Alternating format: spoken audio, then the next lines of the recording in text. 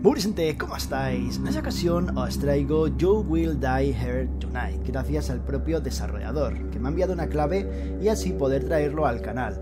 Me ha comentado que el juego actualmente está totalmente en inglés, es un inglés bastante sencillo por lo que he podido jugar, pero me ha comentado que el juego en la próxima actualización vendría traducido. No sé si vendría traducido a varios idiomas, pero sí me dijo que el español era uno de los idiomas al que iba a venir traducido. Por lo tanto, eso es genial para poder entender la historia 100%. Para los fans de Resident Evil, este juego puede que os guste bastante. Es un juego bastante bueno, es entretenido, tiene una historia bastante buena y engancha, engancha desde el principio. Yo tengo ya lo que viene siendo el juego avanzado.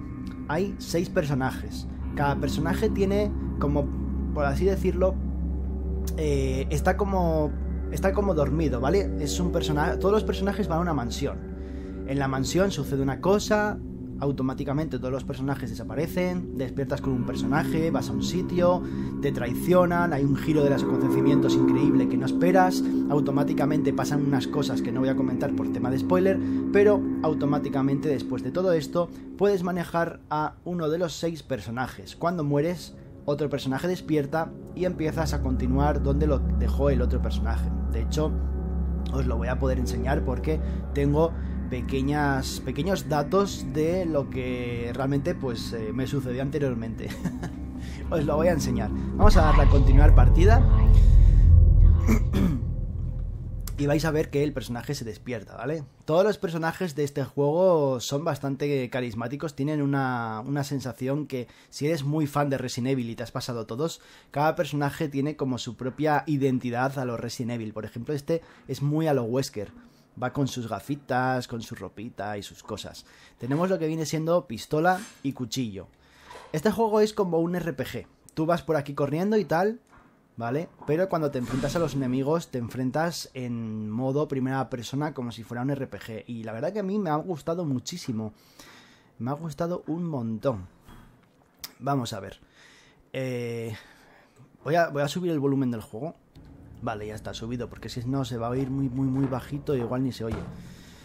Eh, bueno, nosotros podemos hacer así para apuntar a las diferentes cosas, pero realmente ya, ya lo veréis, ¿vale? Si no habéis visto nunca ningún tráiler de este título ni nada, pues lo vais a ver ahora. Vais a, a quedar alucinados porque es una combinación que puede parecer un poco extraña al principio, pero después, eh, si te mola el tema, os va a flipar un huevazo. Bueno, aquí tenemos a un zombie muerto. y bueno, hay muchos más por ahí que ya he eliminado. Está genial porque los zombies quedan por aquí tirados.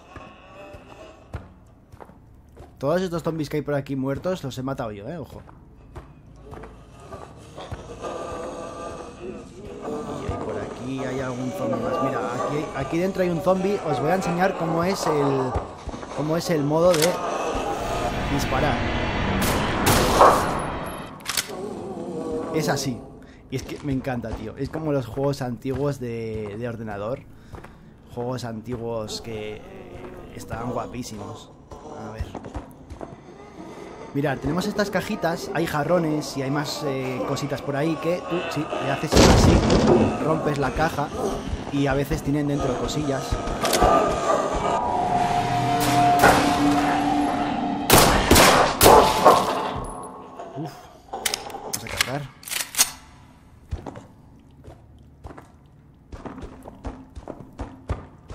Creo que era por aquí donde tenía que ir. ¿O no? Mm, no, no, no. No sé por dónde era, tío. Por aquí puede ser. No. a ver. Voy a buscar, ¿eh? es que eh, es un poco entrerevesado, enrevesado esta zona. No sé si era por aquí.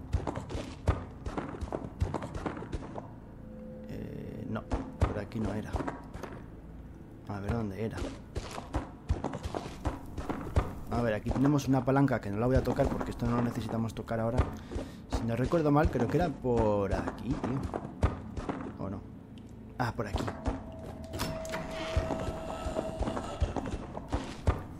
O por aquí vine. Es que ahora mismo, tío, estoy súper rayadísimo.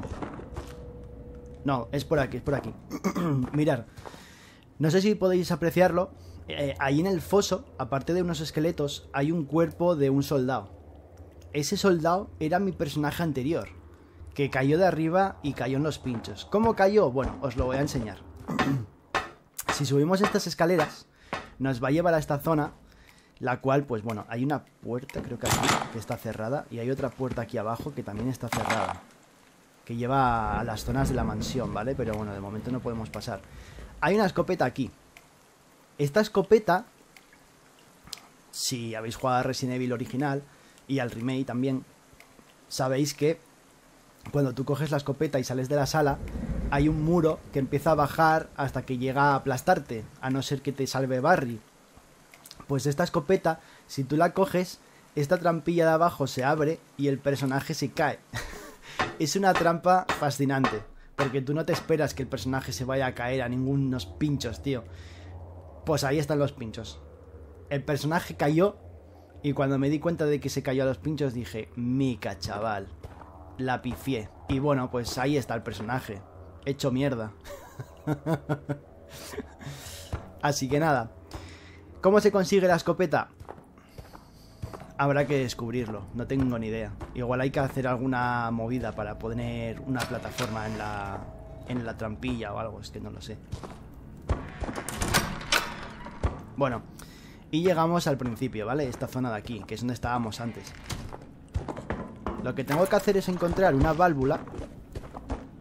Pero es que la válvula, pues, no estoy muy seguro de cómo conseguirla.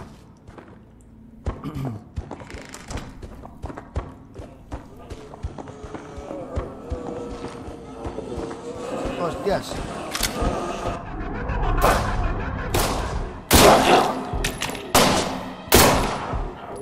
No, no tengo. Mierda. Aquí. ¡Ah!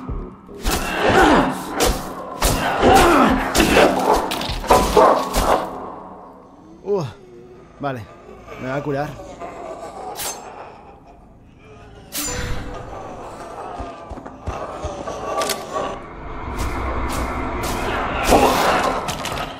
No hay nadie alrededor, ¿no?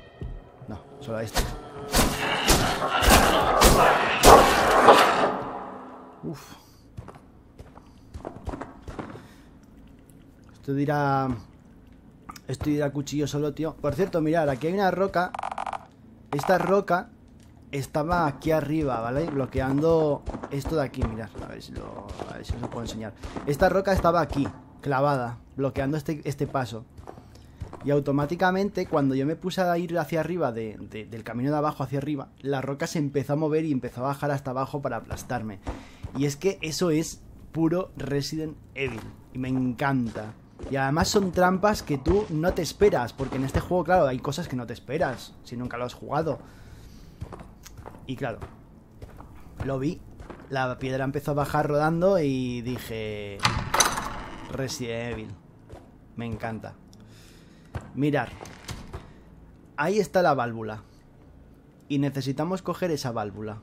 Y esto, si no veo mal, creo que son esas trampas en las que tú, una vez entras, te cierran y te clavan entero. Y creo que la trampa se llama la doncella de hierro o algo así, o la dama de hierro. Que es una trampa en la que cuando tú entras se cierran las puertas, las puertas tienen pinchos y te dejan clavado dentro. Y tú, pues claramente, eh, mueres, porque te, te dejan desangrando todo ahí el cuerpo. Bueno, la cosa es que necesitamos mover esta palanca, pero no podemos, porque necesitamos un código. Y el código, pues no me lo sé, no sé dónde está el código. Y nada, tengo que andar investigando y buscando a ver dónde está el código, porque no lo sé. Y es que necesitamos la válvula sí o sí para poder activar la energía, porque realmente para poder salir a la mansión necesitamos activar la energía y obtener seguramente alguna llave o algo, o, o activar la energía para salir. Porque es que ya os digo, no... Al no tener energía, pues... Hay cosas que están bloqueadas.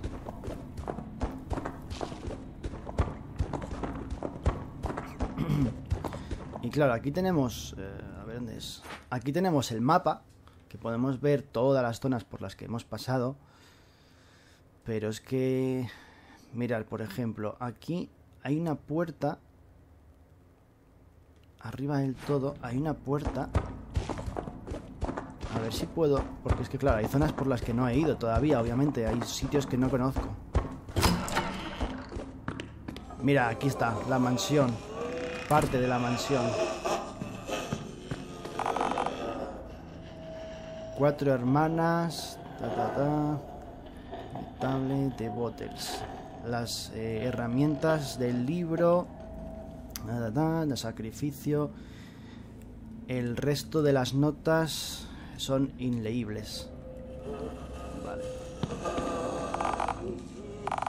Necesito una llave pequeña y no tengo.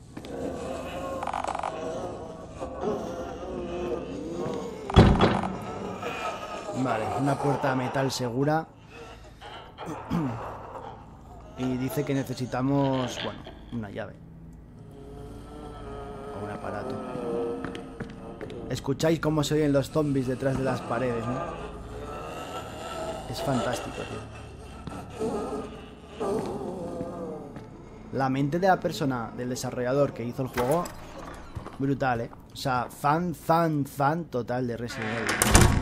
Bueno, y de otros títulos también. Eh, por ejemplo, tipo Alone in the Dark, tipo eh, Silent Bueno, Silent Hill no tiene mucho realmente, pero pero Alone in the Dark, Resident Evil y el tema así de la gráfica, cámara así 2D, 3D, está muy chulo, muy muy chulo.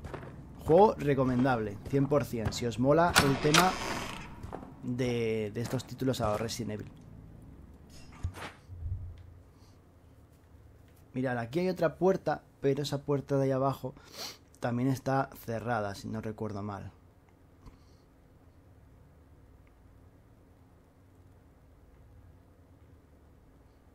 Vale, estos son las celdas, que son un lío.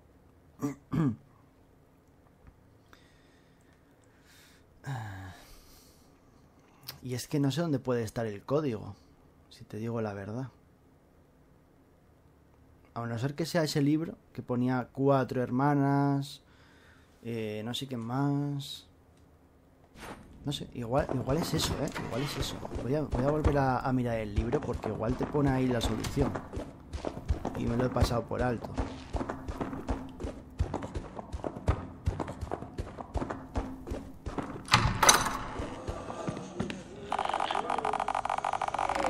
Tres Sisters. Cuatro hermanas. De ron, de col- ta, ta, ta. La, la mesa, la botella, la herramienta y el libro. Para hacer el sacrificio. Vale, pero creo que no me dice nada esto, ¿no? Que dice cuatro hermanas y luego uno de cada, pero son simplemente para un sacrificio que nos indica y no sé cómo, no sé cuál será el código. La verdad que lo desconozco. Tengo que seguir investigando, pero es que es tan amplio todo que es es difícil saber dónde estás al principio cuando no conoces las cosas. Las palancas sí que no las voy a tocar porque ya están tocadas, ya no las voy a necesitar tocar. Son palancas que si las toco la voy a pifiar, ya no voy a poder salir. Vale, aquí me dice que necesitamos la energía.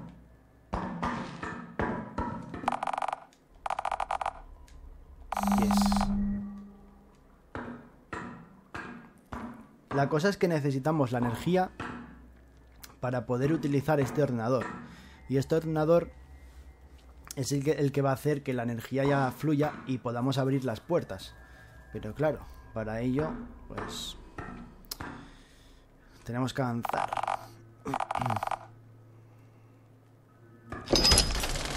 Aquí tenemos el mítico baúl donde vamos a poder guardar cosas o coger cosas. En este caso tenemos la pistola y el cuchillo. Lo podemos dejar o lo podemos coger. Ya lo tengo en el inventario, por lo tanto no necesito hacer nada, ¿vale? Por cierto, me dice que tengo balas. Ah, ya la tengo cargada, guay.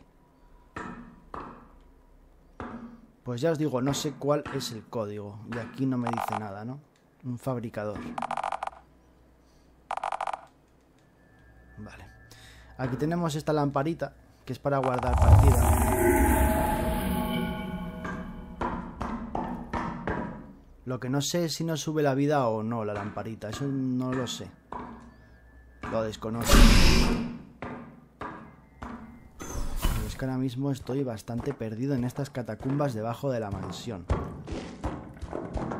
Que ojo, la mansión la recorres, ¿eh? También.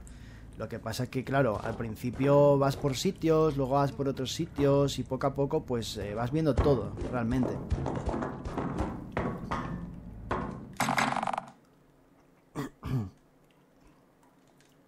Vale, esta puerta es una que necesitamos para salir de aquí con energía y no podemos salir porque no tenemos energía. Así que esta zona está inhabilitada, aquí no se puede hacer nada.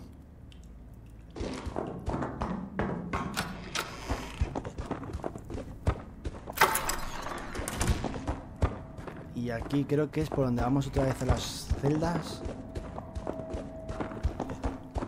Sí. Y es que no sé cómo... No sé.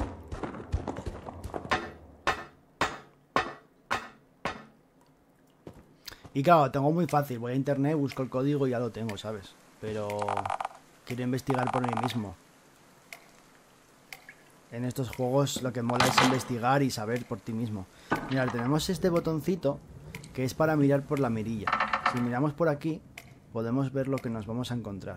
Y este es un pasillo por el cual yo ya estuve anteriormente. Pero claro, ahora con este personaje, pues en esta zona tenemos que conseguir las llaves para abrir la puerta.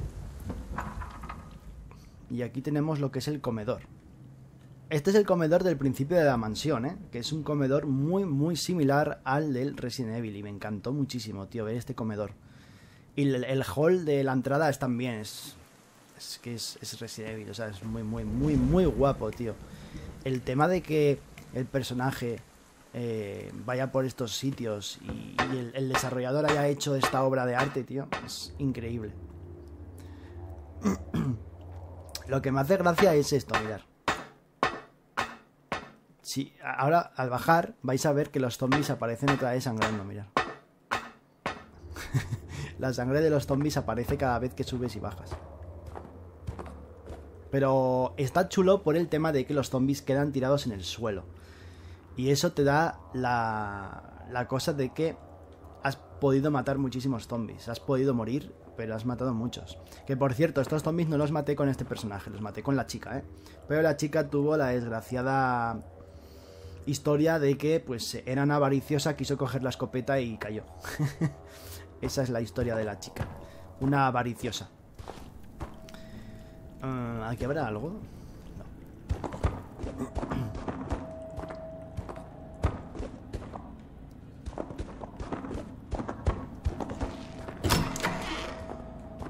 Y nada, ahora es que ya no hay más zombies. O sea, están todos muertos.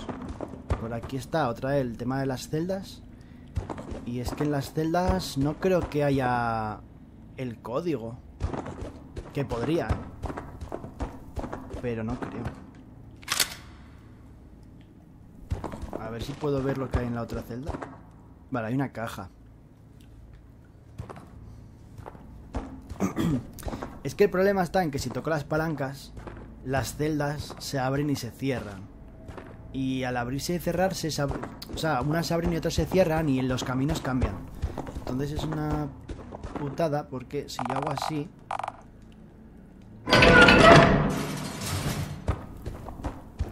cambian. Mira, he conseguido balas de 9 milímetros. Perfecto.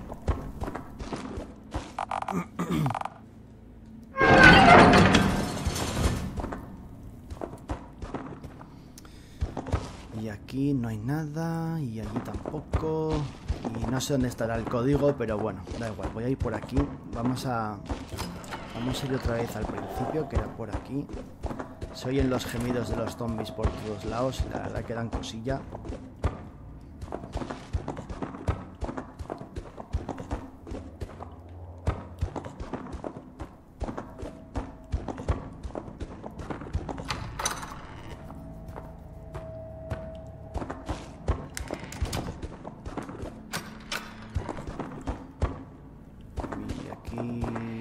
Que había, no había nada, ¿no? Vale, las campanas. Ta, ta, falta. Nada, voy a ir al laboratorio para guardar la partida otra vez allí, por si acaso.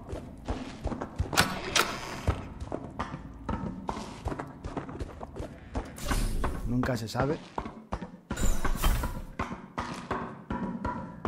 Y lo seguiré jugando hasta completarlo. Este juego está muy, muy, muy chulo. Y nada, señores, hasta aquí este pequeño vídeo. Espero que os haya gustado. Y si es así, ya sabéis, dar like, comentar, suscribiros, compartid. Os dejaré abajo en la descripción del vídeo, como siempre, el link de Steam para que podáis ir. Y si os mola el juego, pues pillarlo. No cuesta mucho y además apoyáis al, al desarrollador y es un proyecto que está muy guapo, o sea, está muy guapo. Y si eres fan, como digo, de Resident Evil, te va a sacar una sonrisa, te va a enamorar y te va a gustar un montón. Así que nada, señores, un saludito y nos vemos en otro vídeo. Adiós.